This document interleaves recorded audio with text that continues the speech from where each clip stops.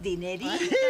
Ay, nosotros no necesitamos eso, ¿verdad, Máximo? Ah, nosotros tenemos un físico perfecto, ¿eh? Con permiso, con permiso. Permiso, ¿eh? Hágase un lado. Abre, abre, abre. Ok, ok, adelante. Hola chicos, ¿cómo les va? ¿Cómo andan? ¿Cómo?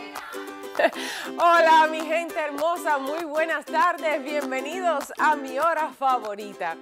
Hoy vamos a reír con un humorista muy querido que nos hace el honor de su visita en nuestro show y de paso vamos a saber qué es de su vida, cuáles son sus proyectos y vaya preparando sus mejores chistes para que los comparta con nosotros también hoy.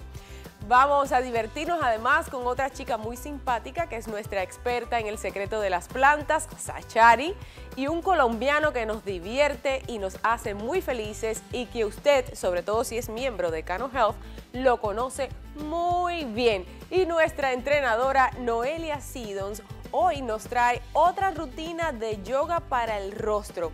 Les tengo de todo, así que relájense, pónganse cómodos y acompáñenme a disfrutar de mi hora favorita. ¡Eh,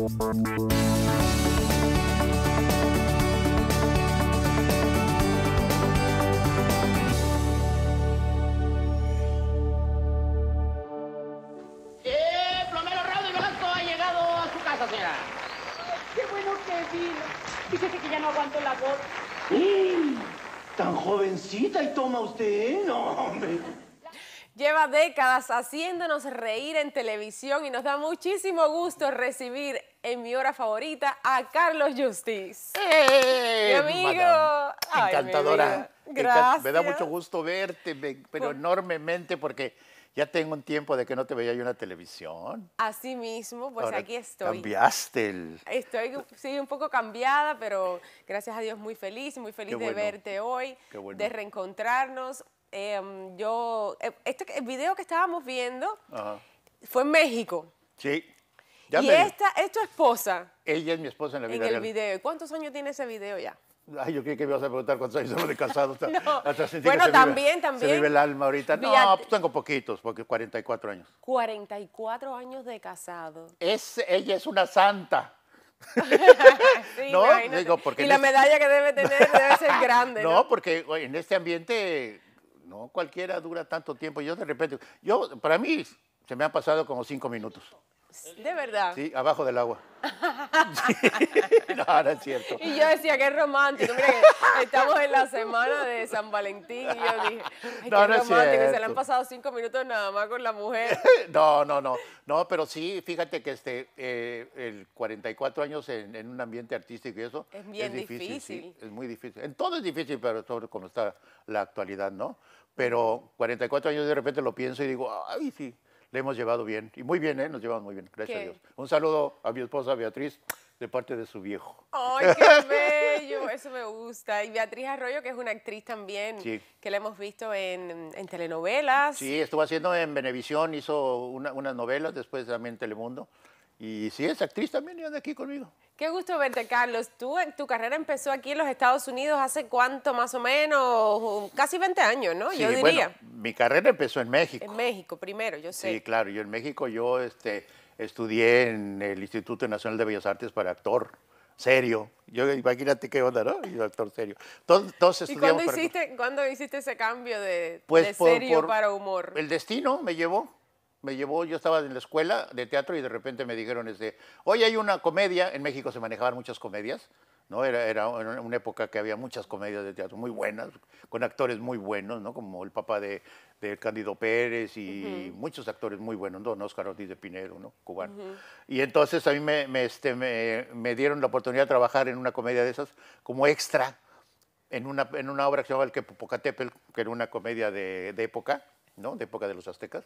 Y entonces me, nombraron, de, me, me contrataron de extra para que me ganaran unos pesitos. Estaba yo en la escuela, pues dije, bueno, ok, ya ve que se siente estar en un teatro, ¿no? Me vistieron de, de, de- azteca. de- azteca, con un taparrabo y uno, o sea, el puro taparrabo y el- la pechera, ¿no? Y de repente agarran y me ponen en un teatro que estaba helando, en, en, en invierno estábamos trabajando en un teatro que se llamaba el Teatro Principal, helando, y yo estaba parado nada más haciendo una pirámide, ¿no?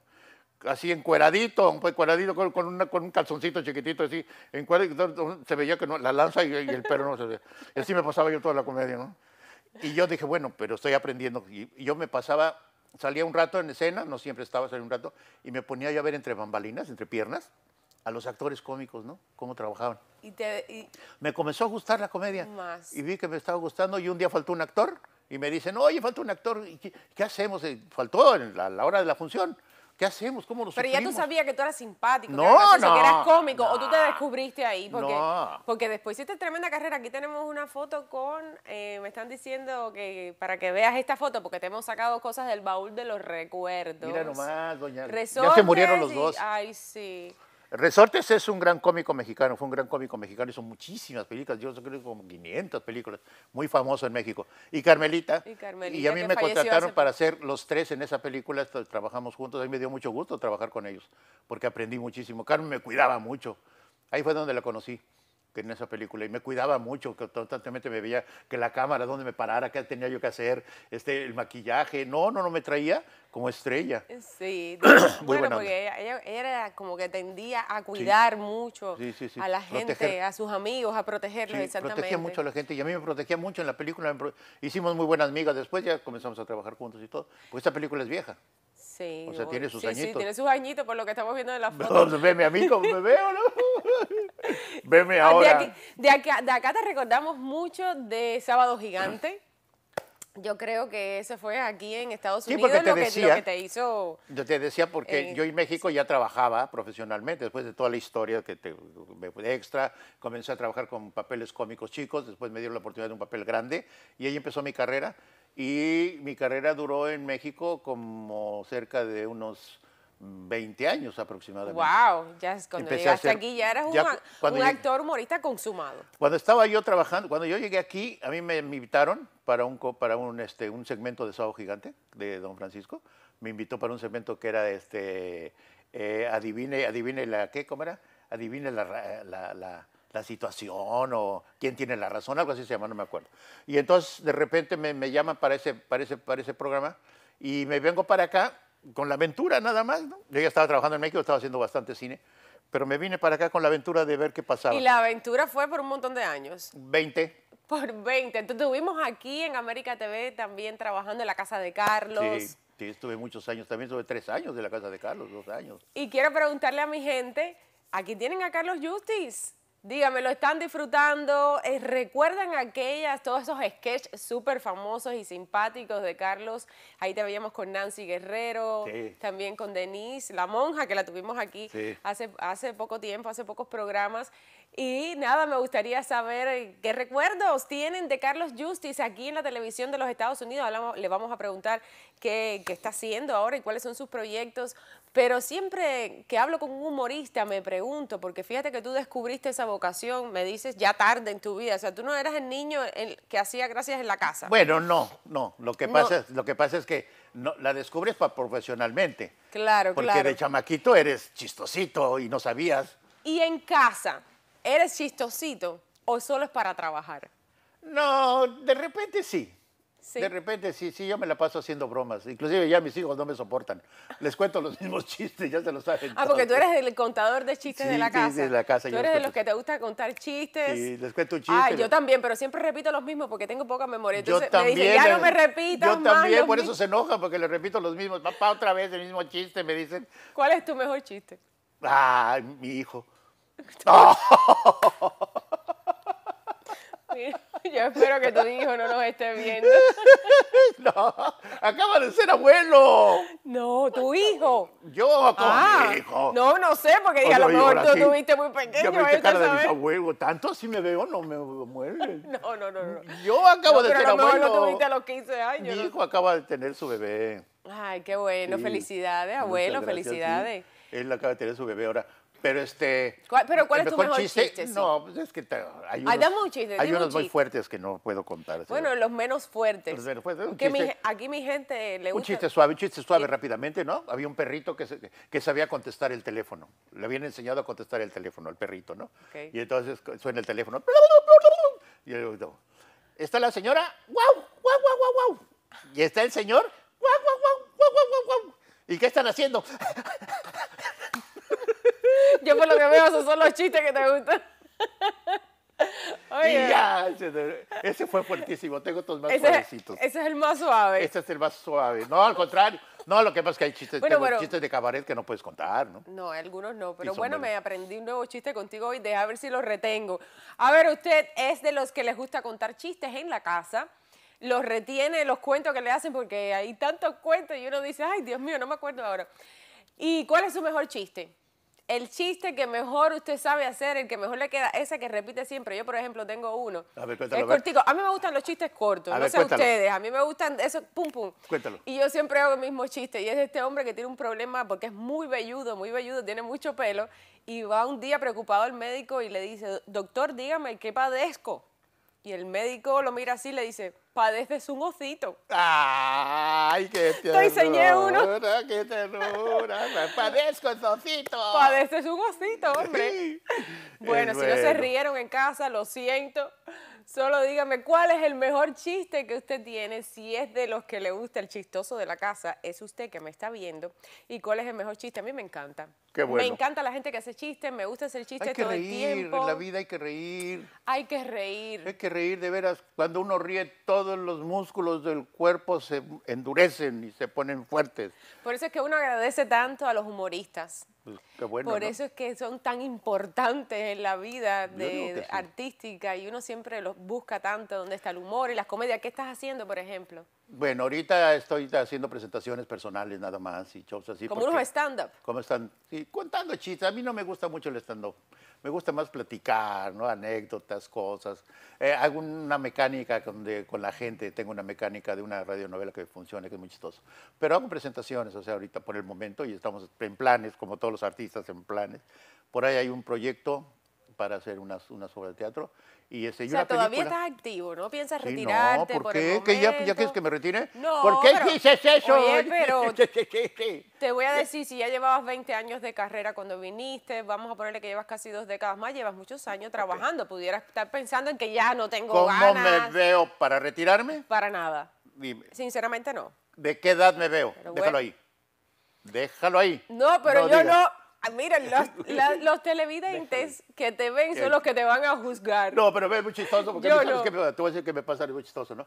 Yo estaba en Sábado Gigante, pues todo el mundo me conoció, el programa Sábado Gigante.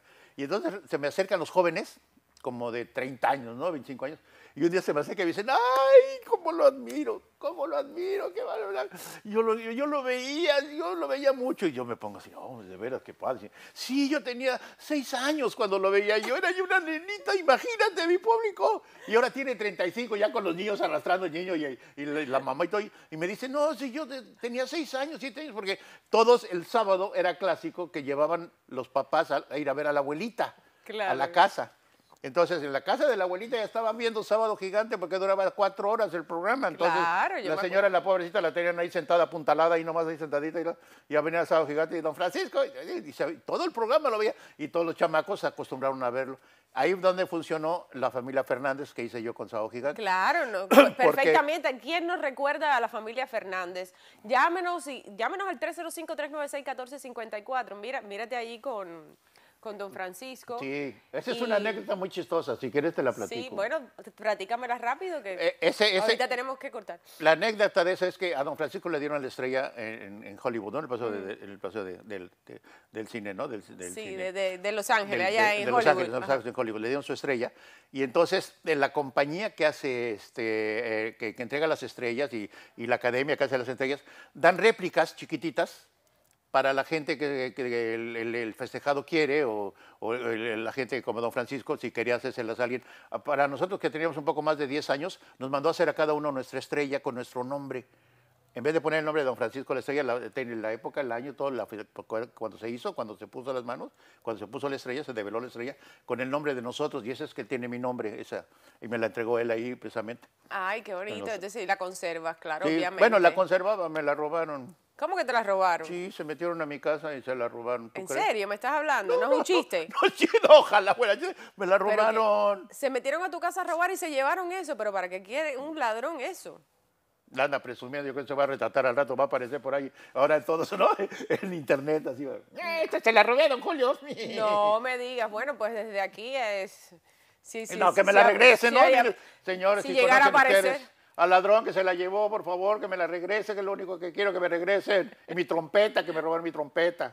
También te Me robaron, la robaron mi trompeta, hombre. Yo no la sabía tocar, pero la quería tanto. No me digas, ¿y eso cuándo fue? Uy, ya tiene tiempo. Fue en México.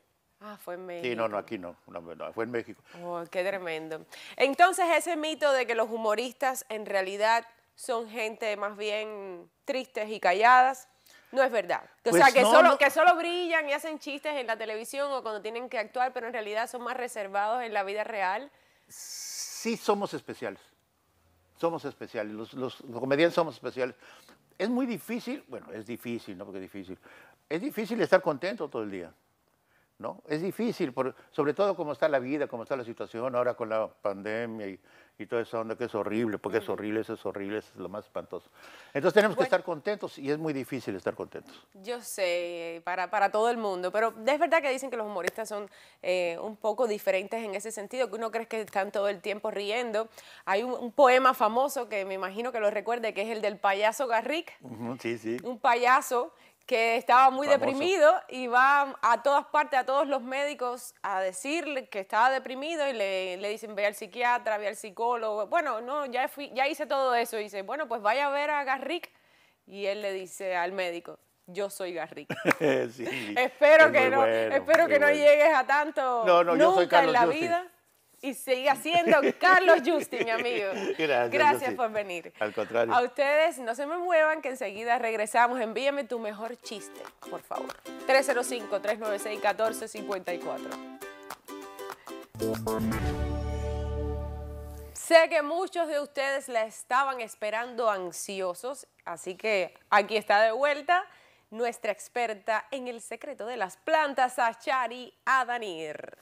Muchísimas gracias. Qué ¿Cómo bueno estás? verte, qué bueno verte. ¿Qué tal está todo? Mira qué bello está el día hoy. No, divino. Y aparte, estoy con esas orquídeas que me tienen loca. Son una belleza. Eh, ¿Viste qué orquídeas más bellas? Bueno, estas orquídeas, mírenlas aquí. Ya yo les he hablado de estas orquídeas. Natural Orchids Boutique. Después te paso el Una dato. belleza, una yo les he belleza. hablado a ustedes de estas orquídeas y el lugar. Estuve por allá el otro día, eh, a ti te va a fascinar. El Yo lugar es, como un palacio mágico de orquídeas. Déjame decirte que ahora todas están floreciendo. Yo me he quedado impresionada porque en mi casa tengo por todos lados que ya con unos botones y yo hablo de los botones y al otro día tengo las flores así abiertas que son un escándalo. A mi madre también, porque es amante de las orquídeas y en mi casa, ca- en casa de mi- mamá casi no se puede caminar entre, entre orquídeas, casi ¡Qué está como la tienda de, de, de Natural Y la gente que la bota, no la boten, las orquídeas no se tiran. En las orquídeas se le da tiempo y ellas vuelven otra vez a darte flores. Este, Pero bueno, no, vamos a hablar hoy de orquídeas. Y mira, si la gente estaba ansiosa por, por verte otra vez aquí, no te nos puedes perder tantos días. Eh, escucha esta llamada que te tengo. A ver. me bendiga, me gusta mucho el show, pero quisiera, ¿cómo se llama? Que la muchacha de las plantas siga viniendo más frecuentemente, yo aprendo muchas cosas con ella y también quisiera que pusieran a Magdalena, me gusta también. Un beso, gracias, bye. A Magdalena no me la vayas a poner aquí junto conmigo, que una vez a una amiga que estaba cantando le dio por la espalda y por poco la, la, la hace que se le vaya un gallo. Ese cuento es famoso. Pero bueno, No, ya aquí, muchísimas gracias, muchísimas ya aquí gracias. estás Achari, te veo. Hoy a- vengo con una baby mía, una de mis favoritas. Me encanta esa planta. Eso es una albahaca, ¿verdad? De aquí a allá el olor. Y la vaca, como dice la canción, para la gente flaca, yo no sé si funciona para la gente flaca o no, pero es una, una cosa que yo la amo. Tú eres bastante delgada. Yo no soy sé qué- bastante. no sé qué haces con la albahaca, pero no creo que sea para eso. Exacto. Bueno, esta albahaca tiene su historia porque me la traje eh, las semillitas de Turquía, las pla- la planté desde la semilla. Es una albahaca turca. Es una albahaca turca y huele, eh, o Ay, sea, yo amo esta este, planta. este olor y ahí yo estoy fascinada porque tiene esta, este ramillete que le está saliendo media morada. Entonces Ajá. es una mezcla bicolor. Sí, morada, ya ves que hay una albahaca morada que cuesta un trabajo tremendo que se nos dé. Pero la albahaca también es una mañosa. La albahaca hay que darle mucho cariño y si la tienes en maceta, yo siempre recomiendo que lo que le pongan abajo sea un plato hondo y que lo dejen siempre lleno de agua para que ella se vaya alimentando también por la raíz.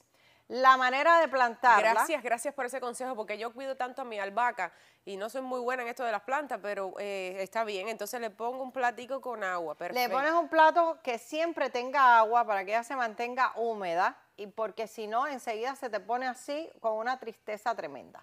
¿Y cuáles son los consejos con la albahaca que nos Ahora te traes lo voy a dar, pero me estabas preguntando al principio del programa que cómo podías reproducir la albahaca. La albahaca se puede eh, reproducir por esqueje, que es cuando tú cortas en diagonal el tallo y lo pones en agua, pero es dificilísimo. A mí nunca se me da, el romero se me da así, pero la albahaca no.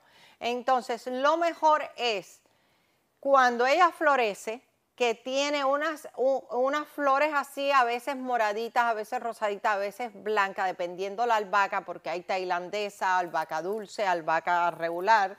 Entonces tú les vas cortando esas eh, flores que además si no se las cortas, tu planta puede morir muy rápido Entonces mi albahaca va a echar flores en algún va a momento. echar flores y tú le vas a cortar esas flores, las vas a poner a secar y eso trae la semilla. Tú las vas a como desmenuzar y esas semillas tú las vas a dejar toda una noche en agua y al otro día la pones en tierra, directamente en la tierra y eso va a salir. Te va a salir tu cortiledón y después ya la plantita como Qué tal. bien, qué bien, porque mi madre quería de mi albahaca, pero no sabíamos cómo sembrar de una, ¿sabes? Que para que ella pudiera sembrar su propia albahaca. Así que Pero sí, muy sí bueno se da con, flores, las flores y enseguida las cortan porque si no se te va a morir. Ahora, la albahaca, anestésico natural. ¿Cómo? A ver, ¿cómo es eso? Muy sencillo, mira, la albahaca cuando las personas tienen un dolor de muela, que obviamente tienen que ir al dentista, pero ¿qué pasa si ese dolor de muela te da un sábado en la noche y el dentista no te recibe hasta el lunes? Bueno, pues vas a estar rabiando de ese dolor y vas a terminar tomándote un- una pastilla. Pero en esa área vas a seguir sintiendo como que te están dando ahí martillazos. Bueno, tú vas a agarrar tu albahaca, le voy a hacer una pequeña demostración. Bueno, hay que cortarla. Entonces La- cuando, la, cuando yo la corté el otro día un poquito arriba, ¿es- ¿es diagonal? para, para reproducir. Cuando Ah. tú vas a reproducir para que puedas ponerla en el agua y que Sí. de verdad pueda salir la raíz, tienes que, que ponerla, eh, cortarla así, diagonal eso- y no recto. Eso si no vas a esperar por la semilla. Dios mío, el olor de nada más de cortarla. Eh, yo sufro cuando la tengo que cortar, pero la realidad es Pero que sí hay si que no da- cortarla, sí ¿verdad? hay que cortarla, tienes que darle uso. Si no, tu albahaca, en realidad, si la quieres tener de adorno, va a terminar muriéndose porque ella necesita también que las otras hojitas que vienen abajo agarren fuerza. Entonces, si les dejas las hojas grandes que ya puedes utilizar, que incluso cuando tú estás muy nervioso o estresado, se recomienda que te la pongas en la boca y que la mastiques, porque también les voy a explicar por qué. Eh, bueno, pues estas chiquititas tienen que ir creciendo, agarrando fuerza. Y si no le cortas las grandes, esas grandes necesitan mucha energía. Y entonces las otras se atrasan, se mueren y la planta termina muriéndose. Entonces lo que yo estoy haciendo aquí es poniendo esto dentro de un Ziploc y lo voy a mezclar con clavo de olor. Cuando tú hueles el clavo de olor, te da una sensación rico. de anestésico. Sí, Entonces tú lo que vas a hacer es agarrar unas cuantas, son como semillitas, el clavo, tú lo metes aquí adentro y lo meten aquí adentro porque tu mortero puede ser que tú hayas aplastado ajo, pero además esto va a soltar un liquidito. Cuando tú haces eso, que agarras y empiezas a aplastarlo, no quiero aplastarlo muy fuerte, no vaya a ser que yo termine rompiéndote aquí la mesa y sea más Sí, por favor, entonces- peor el remedio que la enfermedad. Bueno, cuando usted lo aplasta muy, muy bien, que todo esto está bien mezclado, entonces te lo pones en el área donde tú tienes el dolor y eso va a hacer que se te duerma esa área y ya no te va a doler. No es un anestésico A natural. decir que mi apreciada albahaca, que yo creo que es la- mi planta favorita, sirve también para eso. ¿Qué tal? Pero además- Además de para las comidas, que es fabulosa. Yo la uso mucho para las comidas. Infusión de albahaca. Tintura de albahaca, la que se pone abajo de la lengua, que es sublingual, que es un, esto es una solución hidroalcohólica que la hago yo con mis plantas en mi casa. Y ese es para calmarte. Eso lo que hace es te calma el sistema nervioso. Si tú estás bajo estrés, tengo seguidoras que incluso con ataques de pánico se la ponen abajo de la lengua. A mí hace poco me dio uno que yo sentía como que me iba a dar un yello y me las puse abajo de la lengua. Yo trato de usarlas religiosamente cada tres, tres veces al día, 12 gotas bajo la lengua. 12. Hay veces me voy de viaje, se me olvida y cuando regreso, pues no tengo mi albahaca en el sistema. Entonces la necesito, me da un, un sobresalto, un susto, eh, me pongo de malas y me pongo mis gotitas de albahaca bajo la lengua. Es también que te, también te ayuda para los gases. Hay personas que tienen problemas de gases. Estás acabado de operar de la vesícula. Tienes una cantidad de gases porque generalmente las operaciones con la parascopía te dejan Exacto, gases ahí sí. adentro que se te alojan hasta aquí Ajá, atrás. ok. Le acabo de dar a una amiga sus gotitas y los gases se calman. Ajá, pero la- con la misma tintura de albahaca. Con la misma tintura de albahaca y Para si usted no tiene la tintura, tú puedes hacer un- una infusión. Tú agarras esta misma cantidad de albahaca, la- le echas agua caliente, la tapas, le dejas 10 minutos para que le salga todas sus propiedades y eso te lo tomas. También es un antiespasmódico. Te ayuda, Si tienes cólicos y eso. por eso es que Infusión de albahaca. No, no, no, no, no. Yo estoy. Ahora, esto es un aceite de albahaca. Este no lo hago yo, este me lo traje de Turquía. Y es buenísimo que ustedes lo hagan en su casa. Lo que tienen que hacer es un aceite que ustedes pongan las ramas de la albahaca a macerar. Y ese aceite, cuando usted tiene un dolor, póngaselo en esa zona. Y como le digo, es un anestésico. Por ser un anestésico, obviamente eso le va a calmar el dolor. Bueno, pues hoy el aplauso se lo lleva la albahaca, albahaca. señores. ¡Ah, ¡Qué belleza! Esa, ma- esa mata tuya está, pero Es espectacular. una belleza, sí. es una belleza. Espectacular. Pues nada, ahí está el teléfono 305-396-1454. Yo, por lo menos, lo que he aprendido hoy de la albahaca, no solo me ha dejado eh, estupefacta, sino además muy contenta de saberlo, porque yo tengo mi albahaca, la cuido mucho, la quiero. Y, y bueno, para todas estas cosas las podemos utilizar. ¿Usted sabía todo esto sobre la albahaca? A lo mejor conoce a lo- Si otro- conoce otra cosa, que por favor nos lo que pueda aportar, claro, que sí. 305-396-1454. Espectacular este segmento sobre la albahaca. Me ha encantado, Sashari. No te nos Bueno, pierdas. No, no me voy a perder. Que ya no pronto y vengo con invitada la próxima vez. Así que Tenemos una invitada la próxima vez. Bueno, vamos a dejarlo ahí, sorpresita que nos va a traer Sachari. Y vamos a, a ponerles otra vez las redes sociales de Sachari, su página web, bysash.com es su página web y ahí la tienen. Y su red social en Instagram es Sacha, Danir. Adanir. Sacha Sacha Danir. Danir. Búsquenla por allá y quédense ahí tranquilitos que ya yo regreso enseguida.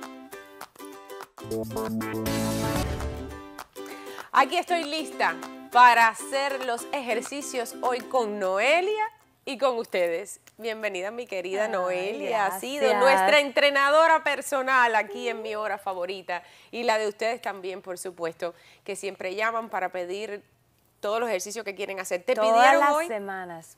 Yo sé que te llaman mucho y, y por ahí tú vas sabiendo lo que quiere nuestra gente Claro. también. Te, ha te pidió una señora yoga para el rostro. Ya lo hemos hecho antes, pero tú tienes también otras técnicas de yoga para el rostro. Ejercicios completamente diferentes. El yoga para rostro te ayuda a eliminar esas rayitas que tú dices, ¿cómo me elimino esas rayitas que me siento horrible? Y es, es, te- es increíble. Así como estás tú.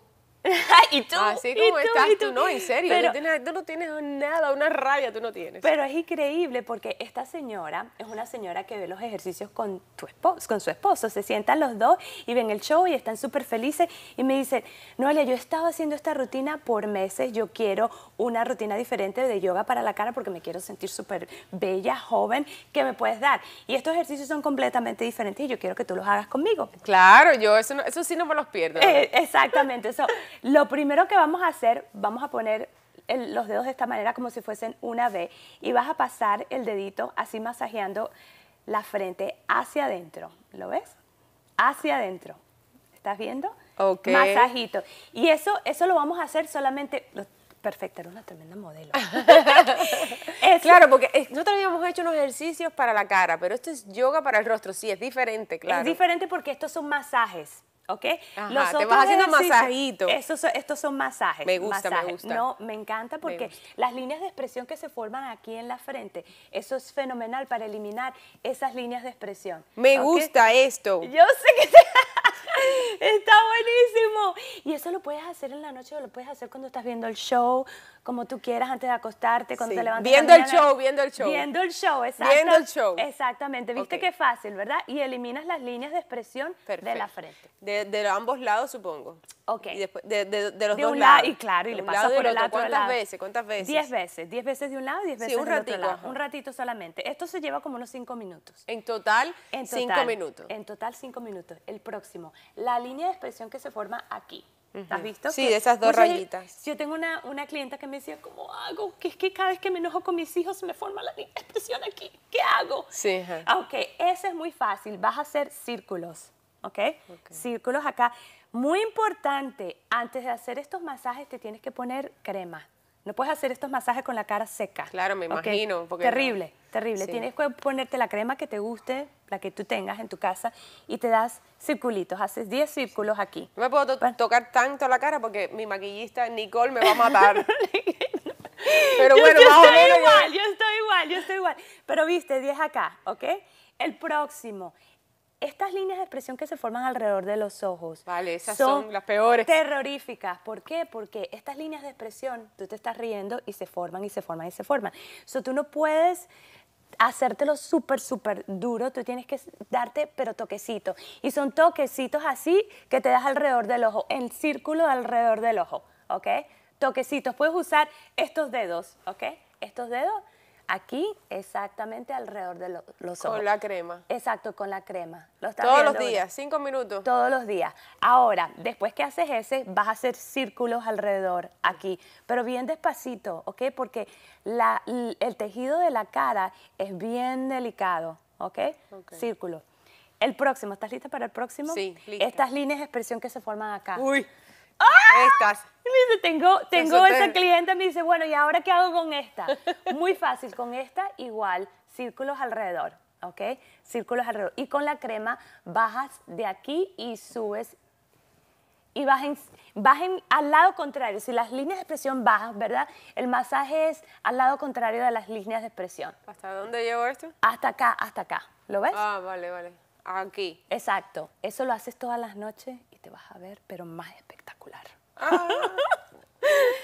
Bueno, y ustedes tienen una hora, fíjense, son cinco minutos. Son tienen cinco una hora minutos. entera para hacerlo durante la hora de mi hora favorita. Exactamente. Escogen cinco minuticos y se ponen allí, primero así, así, masajito, Exacto.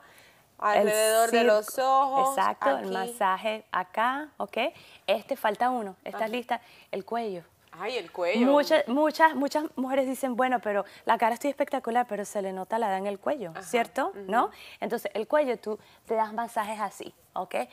En contrario, ¿me entiendes? De, las líneas de expresión. De las, no, 10, 10. Todo es 10. 10, 10. Ah. Cada masajito que yo te estoy dando son 10. Te pones bastante crema y te haces esos masajes cuando estés mirando tu show. Pues, Qué bueno. ¿verdad? pero, pero, pero Esto bueno, ¿qué está fenomenal. Pero bueno, ¿qué más se puede pedir? Bueno, ustedes sí, ustedes pueden pedir lo que quieran. Es que yo quiero que me sigan llamando y me digan, Noelia, ¿cómo puedo eliminar la celulitis? ¿Cómo puedo eliminar la grasita de la barriga? ¿Cómo puedo ponerme los glúteos más duritos? Todo, todo lo que ustedes me pidan, yo les creo algo especial. A través de ese teléfono que ya conocen, que es el 305-396-1454. Ustedes saben que Noelia le cambió la vida a Jordi, que es una de nuestras eh, muchachas maravillosas en, en los teléfonos. Y, y Jordi está feliz después de, de trabajar contigo, ese cambio que se hizo. Y ya saben, pídenle a Noelia, que como siempre la vamos a tener aquí la semana que viene, en el 305-396-1454. Ojalá le hayan servido hoy este, este yoga para el rostro, a mí me encantó. Y que lo hayan anotado en su agendita aquellas que, o aquellos que ya la tienen. Siempre para este segmento busquen papel y lápiz. Gracias, Noelia. Muchas gracias. Y usted no olvide tampoco tener a mano este teléfono que les voy a poner en pantalla, 786-270-0569, es el teléfono de Cano Health. Tiene dolores y no sabe por qué, no puede hacer sus rutinas de siempre o incluso los ejercicios que Noelia nos trae aquí, pues los doctores de fisioterapia de Cano Health están ahí para ayudarlo. El Departamento de Dolor y Artritis de Cano y sus especialistas le esperan para determinar qué tiene, si tiene artritis, si tiene reumatismo, cualquier enfermedad del tejido conjuntivo y con la ayuda de ellos y las terapias naturales no invasivas que utilizan, usted podrá vivir sin dolor. Cano tiene el plasma rico en plaquetas, tiene tratamiento con células madre y se puede ir a su casa como nuevo, sin dolor alguno. Tienen los recursos más avanzados para atenderle, además con esa amabilidad que les caracteriza. Llame ahora mismo a los especialistas de, do- de dolor y artritis de Cano Health al 786-270-0569 y comience a vivir la vida Cano, seguro y sano siempre. 786-270-0569. Ya regresamos. Qué programa tan bonito y yo sí que necesita y llegó Tachuela a la hora favorita. Gracias. El maestro del repentismo colombiano en Miami, nuestro querido Tachuela junto al tío Jaime nos visitan hoy en mi hora favorita. ¡Qué maravilla! Me gusta, me- esa entrada me gustó, gracias. Pues nos visitaste aquí no hace mucho, recuerdan en el programa número 100 que Ah, hicimos, sí, que hicimos tremenda celebración. Sí. Estuviste por acá, te agradezco un montón y pu- pudimos celebrar juntos ese día. Y ese día hablamos de tu carrera, de tus comienzos aquí en Sábado Gigante. Oh, exactamente. hablamos mucho de ti, pero yo a- hoy hay más que hablar porque tienes nuevos proyectos, estás metido en más cosas y vienes a contarnos. Eh, primero que todo, agradecerte, felicitarte, el programa muy bonito. Eh, yo que Gracias. trabajo para eh, uno de los patrocinadores, para Canon Health, te, te quieren, eres un talento de la compañía también y siempre ellos están pendientes del programa igual que nosotros, que lo disfrutamos al máximo. Pues contento porque muchas, muchas de, de- de la gente que me conoce hace muchos años, pues me ha visto en el arte la improvisación, pero también hago el stand-up comedy y tengo una rutina muy bonita que se llama Cómo enamorar los secretos del amor los guardo yo. Y allá en el Palacio, de la- en, el, en el Paseo de las Artes, lo vamos a, a exponer para que la gente nos acompañe. Voy a estar toda la temporada del mes de febrero de San Valentín, pero lo cómico es que la gente está acostumbrada a que van a los contenedores a ver otras obras que también son especiales y grandes amigos profesionales y los, desde acá los, los abrazo porque es, pro- es muy lindo lo que, se, lo que sucede en el Paseo de las Artes, pero yo llevo mi bus chiva y usted se sube a- arriba y entonces... Eh, pero esta chiva. Esa no, esa, Esa no, esa esa es la una- promocional, pero entonces es un bus que lo convertí en un bus fiesta y adentro pues tiene sus banquitas, todo y un sonido, un sonido y luces y ahí es donde yo hago mi, mi A ver, estándar. vamos a explicarle bien a la gente. El, el- el Paseo de las Artes es un, conce- un concepto de, de teatro y comedia y todo esto en contenedores. Hay varios contenedores en ese lugar y, hay- y en cada contenedor hay una obra que se pone de teatro o un stand-up comedy en este caso que dura 15 minutos, ¿verdad? 20 minutos. 20 minutos. Cada, cada sección. Cada, cada, y lo haces varias veces. Yo, en lo- la- yo empiezo a las 8, 8 y media, 9 y 9 y media. Hago cuatro presentaciones. Entonces uno de esos contenedores los convertiste en una típica chiva colombiana, que es esta guaguita que conocemos tan Exactamente. o sea, colorida. Me dieron un espacio, un contenedor donde yo llevo el bus, el bus Chiva, y la gente pues se, se sube y ahí va a escuchar toda la magia que traemos, la alegría, la música, el de estándar y la improvisación, porque cuando se van bajando yo les voy diciendo su pelo, su gordura, su belleza, eso es una cosa muy especial. Hicimos Ay, una qué prueba bueno está eso. ¿Y cómo es que se llama el espectáculo? Este El mío se llama Amor con Tachuela.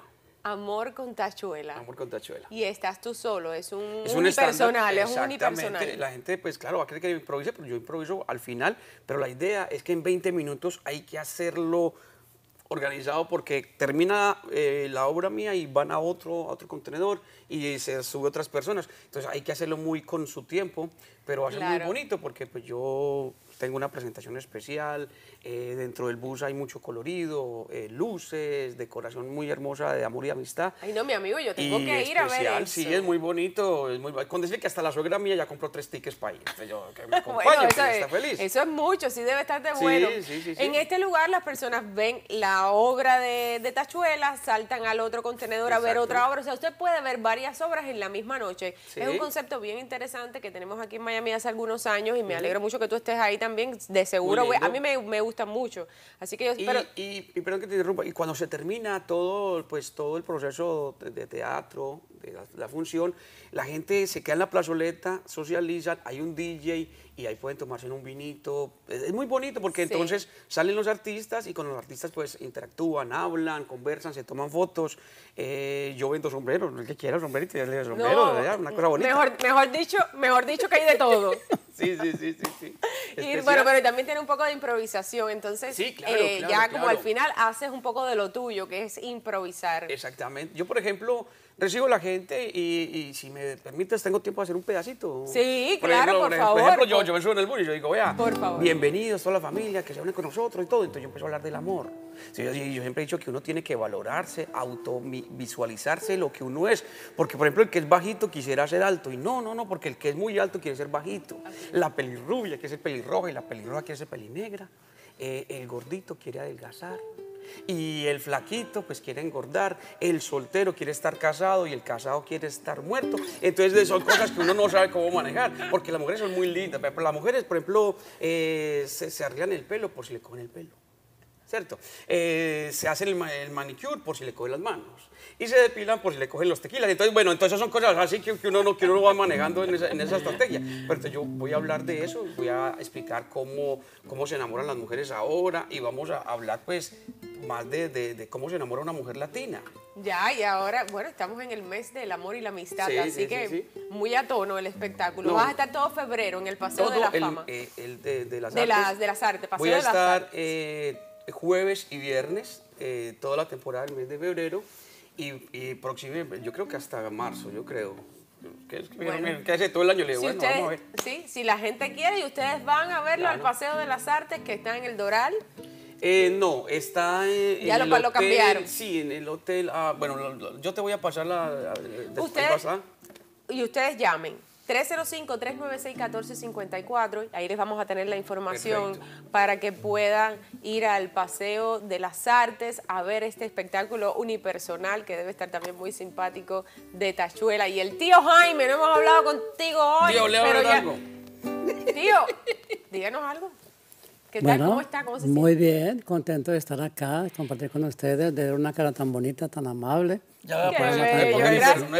Gracias, mu- muchas gracias. Mira, quiero aprovechar ya que están juntos antes de tenernos que ir a la pausa, eh, hablarles un poquito a nuestra gente, sobre todo aquellos que no son miembros de Cano. Nosotros sí vamos mucho, sobre tú, más Sí, que yo, sí. a los centros de bienestar. Yo les hablo mucho de los wellness centers de Cano porque son muy divertidos y en casi todos lo- los nuevos cen- centros que se abren y todos... eh, Siempre está Tachuela, está el tío Jaime cantándoles a todos los miembros de Cano, voy yo, vamos Sí, todos los lindo. talentos y la pasamos de lo más bien. Pero tú siempre estás. ¿Cómo es para ti trabajar en Cano y con, y con los pacientes? Bueno, primero que todo agradecer a, a las directivas, al doctor Marlon, eh, la señora Sandra Ochoa, a todas las personas que han creído en mí, porque es que ese es- este es un trabajo de, de mucha precisión. Y tan bonito, ¿eh? Es muy lindo porque, por ejemplo, la gente me lleva y cree que es que todo hace con humor. No, yo hago un- nuestro, nuestro, ¿cómo se llama? Nuestro, nuestro trabajo se llama la risoterapia con tachuela, porque yo hago estándar, hago historias, hago mucha cuentería,